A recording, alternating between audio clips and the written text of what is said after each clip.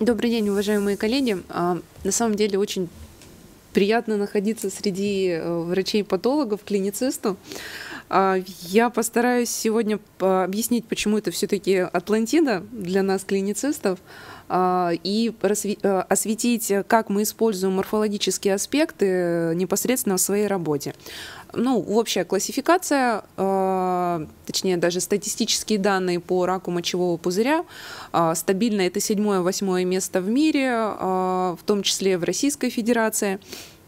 Имеется незначительная тенденция э, к росту заболеваемости э, рака мочевого пузыря как в Российской Федерации, так непосредственно в Санкт-Петербурге. При этом рост заболеваемости за счет э, первой и второй стадии.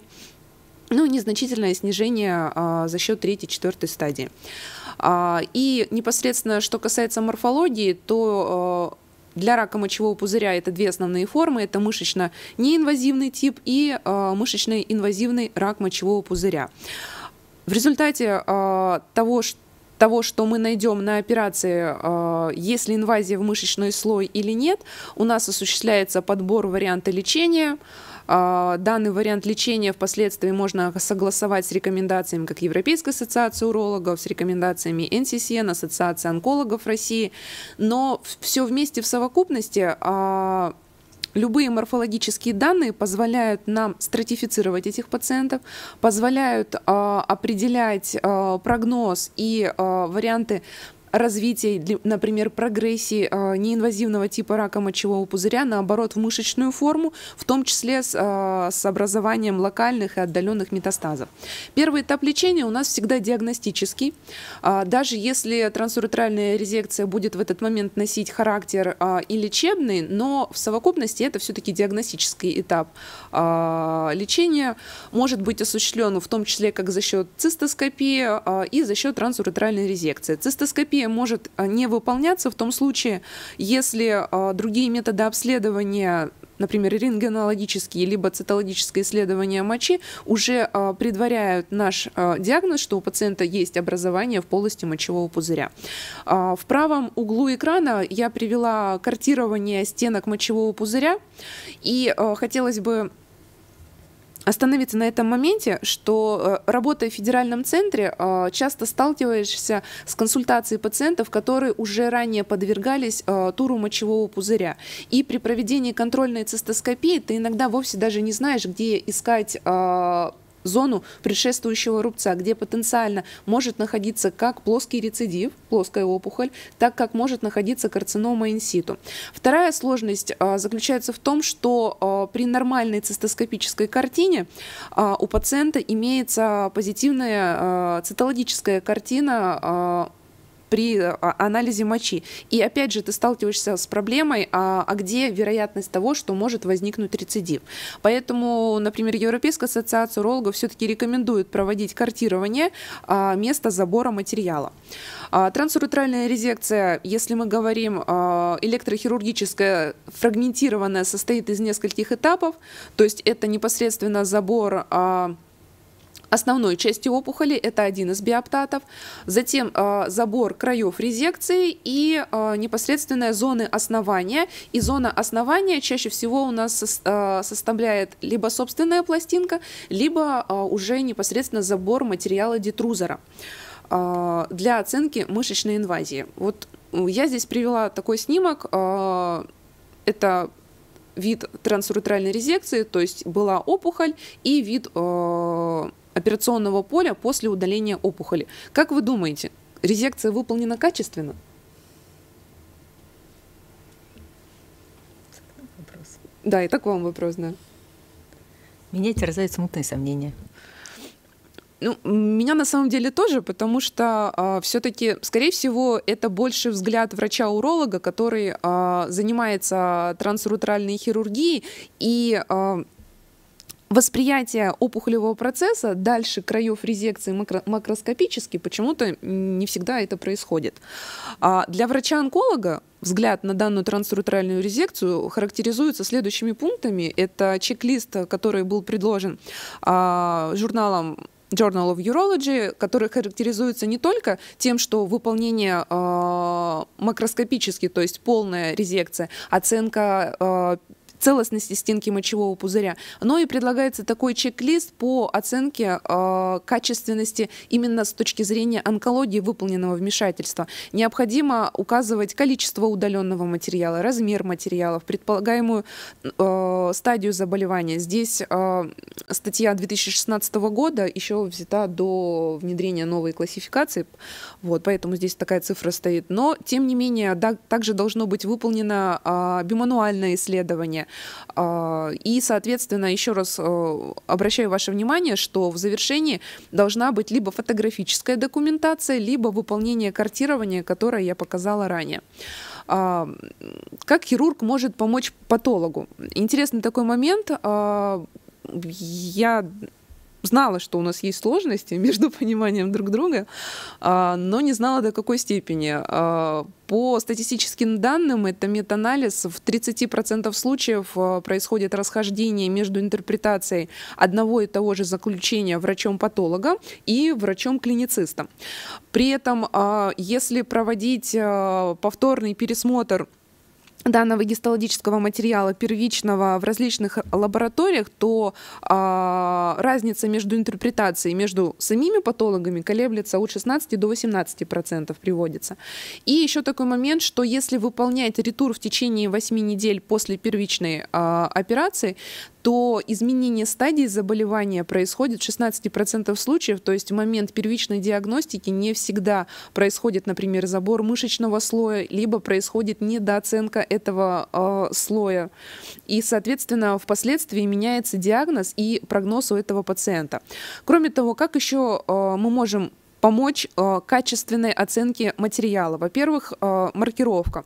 Э, используемая технология забора материала, будь то фрагментация, как я показала ранее, либо если это э, опухоль все-таки меньших размеров, меньше 1 сантиметра, небольшая, то выполнение N-блок резекции. Э, основное преимущество, которое, э, преимущество, которое нам э, дает N-блок резекция, это что в 98-100% случаев происходит забор мышечного слоя. То есть на момент уже первичной оценки диагноза мы можем предсказать, имеется мышечная инвазия или нет. А, и, собственно, само гистологическое заключение, о чем уже коллеги говорили ранее, включает в себя семь основных пунктов. Помимо типа процедуры локализации в мочевом пузыре, это определение гистологического подтипа, процента подтипа опухоли, присутствие других типов, таких как плоскоклеточный тип, нейроэндокринный рак мочевого пузыря. А, и привела пример а, недавнего гистологического заключения моего пациента. Пациенту был выполнен биполярный тур мочевого пузыря и, собственно, собственно, забор происходил согласно этим критериям, то есть первое – это маркировка, видимая часть опухоли, обязательные края резекции и э, дно резекции. Зачем нам нужны э, все вот эти вот данные в гистологическом заключении, такие как число образования, размер опухоли, вовлечение детрузера, э, градирование опухоли, лимфоваскулярная инвазия. Это нужно все для того, чтобы э, спрогнозировать, как поведет в дальнейшем эта опухоль на проводимое лечение либо наблюдение. То есть, по сути, все вот эти вот факторы являются для нас э, факторами риска. И э, на основании их мы уже строим стратификацию на группы риска. Это группы низкого риска, высокого риска, и то, что не вошло э, в low риск и high риск, это э, промежуточный риск рецидивирования и прогрессирования заболевания. На данный момент у нас одобрены у, у онкоурологов две основные шкалы э, риска. Это шкала EORTC, это 2006 год, на основании э, семи, по-моему, исследований э, европейской, э, европейской исследовательской школы по онкологическим исследованиям э, в данную шкалу э, включены размер образования, число э, частота рецидивов и степень дифференцировки опухоли. Вторая все-таки шкала, а, она более поздняя, это испанская шкала, и данные там основаны на, для пациентов, которые перенесли уже БЦЖ-терапию. А, зачем нужна нам вот эта стратификация, например, для мышечно-неинвазивных форм? Эти данные нам нужны для того, чтобы определить вариант проводимого лечения. Например, для группы низкого риска, предпочтительная опция может быть вообще наблюдение, либо а, проведение интравизикальной внутрипузырной терапии. Если мы говорим про образование более высокой степени а, агрессивности, то есть это стадия Т1, high grade, то предпочтительным считается назначение БЦЖ-терапии, а в случае, например, более редких вариантов, а, это микропапиллярные, плоскоклеточные, не плоскоклеточные, а плазмоцитоидный вариант, то предпочтительно вообще изначально пациенту предложить радикальную цистектомию, нежели проводить э, БЦЖ-терапию либо внутрипузырную терапию. Что еще э, можно ну, обсудить именно в вопросе мышечно-неинвазивных опухолей? Это оценка детрузера э, в материале. Э, первично, если э, не было найдено либо не был забран детрузер а, в момент первичного тура, то повторное нахождение его при последующих турах достигает от 25 до 40%. При этом а, хирург с 10-летним опытом, а, вероятность того, что он обязательно возьмет мышечный слой по соотношению рисков, это практически в 5 раз он имеет шанс забрать этот мышечный слой. И по данным Европейской ассоциации урологов, они Э, рекомендуют как бы ежегодно а, проверять и повышать навыки выполнения как трансуретральной резекции а, биполярной, либо с использованием лазерных технологий, то есть э, ну, как бы это очень важно, даже несмотря на то, что ты считаешься опытным хирургом, да, ну, большим стажем, постоянно как бы э, совершенствовать свои навыки.